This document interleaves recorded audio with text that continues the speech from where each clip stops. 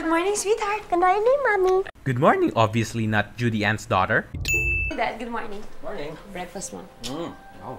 How sure are you that's his breakfast? You just found it a few seconds ago. Mommy, what is kabit? It means connect, sweetie. Saan niya nalaman yung word na yan? Take my advice, lady. Don't take things too deep that quick, or you may end up being like that mother of the little girl who asked what does a virgin mean. Obvious green screen. Also, why not blame this housekeeper since she's the one who's watching this vapid soap opera? So she basically predicted what the TV said, or did the character rephrase that word? Either way, that is bad script writing. I wonder how long does this conversation went? Also, how old is this kid?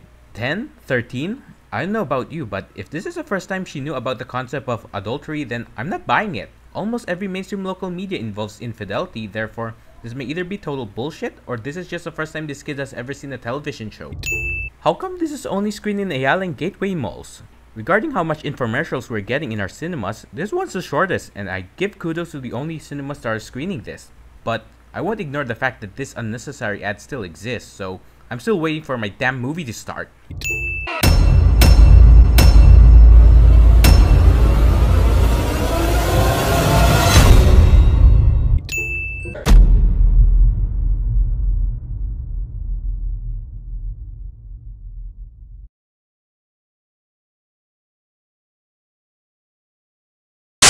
This soap opera doesn't contain a lap dance.